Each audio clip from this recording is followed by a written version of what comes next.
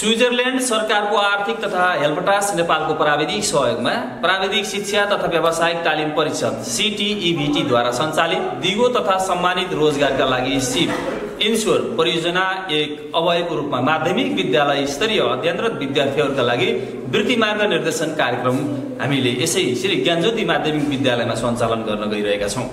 यो कार्यक्रम हामीले सातवटा सेसनमा विभाजन गरेर कार्यक्रम सम्पन्न गरिसकेका छौँ। यसै सन्दर्भमा विद्यार्थीहरूले यो कार्यक्रममा के बुझे र यो कार्यक्रम उनीहरूलाई कस्तो लाग्यो भन्ने कुरा एउटा रिपोर्टिङ तयार गरेका छौँ। हामीले यो सात दिनसम्म यो कार्यक्रम गऱ्यौँ विद्यार्थी भाइ यो कार्यक्रम तिमीलाई कस्तो लागेको छ? मलाई चाहिँ मार्ग निर्देशन कार्यक्रम एकदमै राम्रो लाग्यो रमाइलो तरिकाले गर्न सकियो जसले गर्दा हामीले भविष्यमा के भन्ने आफ्नो रुचि अनुसार खुबी अनुसार हामीले भविष्यमा आफूले के बन्न सकिन्छ जसले गर्दा हामीले भविष्य निर्माणमा सहयोग पुग्छ।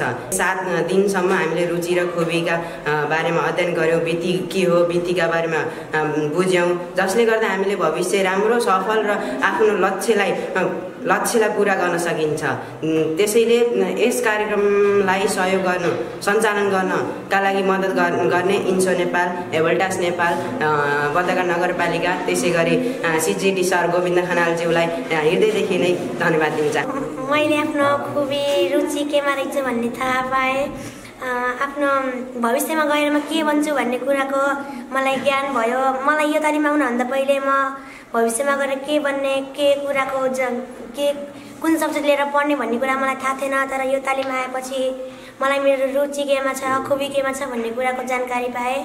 म अब यस्तै गरेर मिहिनेत गर्दै पढ्छु अनि आफ्नो भविष्यमा गएर मेरो रुचि र मेरो खुबीको जे कुरामा छ म त्यही कुरा बन्छु। यस्तो मलाई जानकारी भयो। त्यसपछि हामीले धेरै कुराहरूको ज्ञान पायौँ। मेरो रुचि सबैले आफ्नो रुचि र खुबीको बारेमा जानकारी पायौँ। यो तालिममा आएपछि यो तालिमलाई सञ्चालन गर्न सहयोग गर्ने इन्सर नेपाल हेल्पोटास नेपाल बर्दघाट नगरपालिका र हाम्रो श्री शिक्षक गोविन्द खनाललाई धेरै धेरै धन्यवाद गर्न चाहन्छु। मलाई यो कार्यक्रम धेरै रमाइलो र भयो।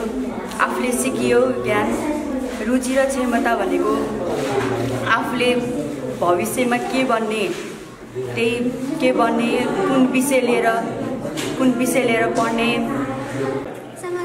भन्नुपर्दा मलाई यो कार्यक्रम एकदमै राम्रो लाग्यो किनभने हामीले आफ्नो रुचि र खुबीको बारेमा पत्ता लगायौँ अनि हामीले भविष्यमा के गर्ने अनि राम्रो गर्ने कि नराम्रो गर्ने भन्ने कुरामा थाहा पायौँ।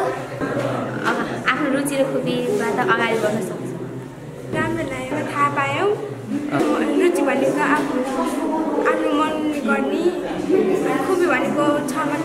समग्रमा भन्नुपर्दाखेरि मलाई यो कार्यक्रम एकदमै रमाइलो लाग्यो। किनभने हामीले यस कार्यक्रमबाट आफ्नो रुचि र खुबी केमा रहेको छ भने थाहा पायौँ र हामीले आफ्नो जीवनमा जीवनको लक्ष्य के हो र हाम्रो हामीले आफ्नो जीवनको लक्ष्य सुधार्न के गर्नुपर्छ भन्ने कुरा थाहा पायौँ र हामीलाई यस यस वृत्त मार्ग निर्देशन कार्यक्रम रमाइलो तरिकाले गरिदिनु भएको सिजिटी सर श्री गोविन्द खनाल सरलाई धन्यवाद। राम्रो लाग्यो। के के सिक्यो यसमा? रुचि भनेको के र अनि खुबी भनेको जान्नु पायो। राम्रै लाग्यो आफ्नो रुचि र खुबीको बारेमा ध्यान भयो। वृद्धि विकास भन्ने के हो थाहा पाइयो। अनि भविष्यमा के गर्ने हो भनेर त पनि थाहा पाइयो। सिक्यो राम्रै सिक्यो रुचि भनेको आफ्नो मनअनुसार गर्ने अनि खुबी भनेको आफ्नो क्षमता अनुसार। खुबीको बारेमा सिकेँ। रुचि भनेको रुचि अनुसार काम गर्ने। कार्यक्रम एकदमै राम्रो लाग्यो। हामीले कार्यक्रममा आफ्नो रुचि केमा छ खुबी केमा छ भन्ने जानकारी पायौँ। हामी यो कार्यक्रममा सिडिटी शिक्षकले हामीलाई धेरै कुराहरूको जानकारी दिनुभयो।